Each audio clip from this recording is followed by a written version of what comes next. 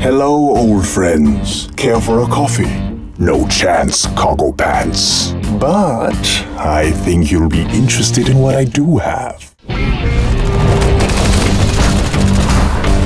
You may recognize this. The Peacekeeper Mark II. Sentimental, yet savage. This man once said, Don't bring nunchucks to a gunfight.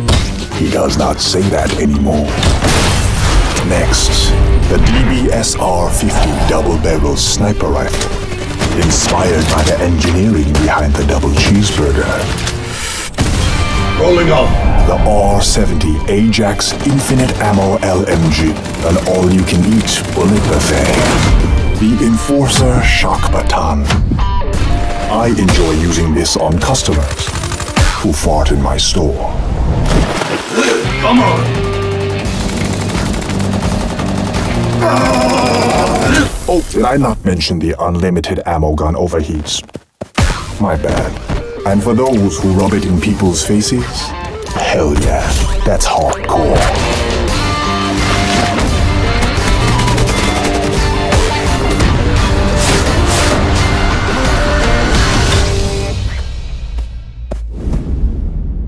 Now, if you'll excuse me, it's time for me to continue pretending I have an espresso machine even though I do not.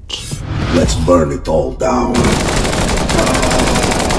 This guy might be my hero.